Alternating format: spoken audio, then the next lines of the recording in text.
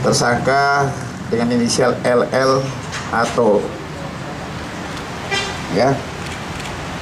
Kemarin kami menunggu ya.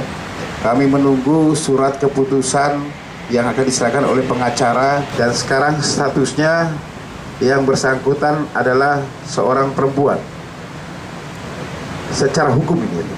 Sah dari pengadilan. Dengan nama diganti dari MF menjadi AP ya ini putusan dari pengadilan. Inilah yang kami anggap ini sah.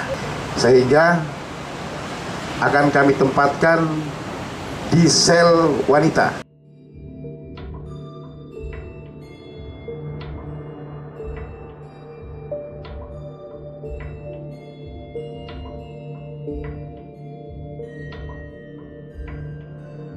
buat teman-teman media yang ada di sini saya pribadi atas nama Helena Putri atau bisa dibilang Lucinta Luna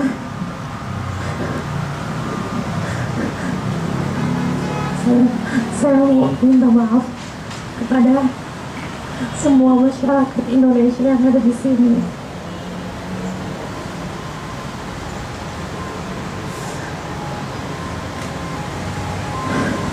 Dengan tekanan saya batin saya seperti ini. Saya melakukan kesalahan yang sangat fatal.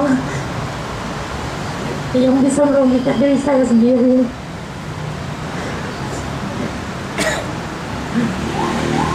Saya cuma mau agar permohonan maaf saya dimaafkan oleh kalian. Teman-teman keluarga saya teman-teman artis juga dan kalau bisa